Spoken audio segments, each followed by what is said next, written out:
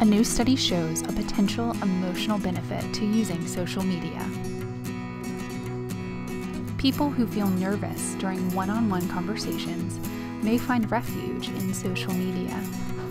Tweeting, sharing, and updating a status may be ways for people to relieve negative emotions and restore well being. A professor at the University of South Carolina and lead author of the study said Social networks could be an important communication channel for certain individuals who would otherwise stay isolated.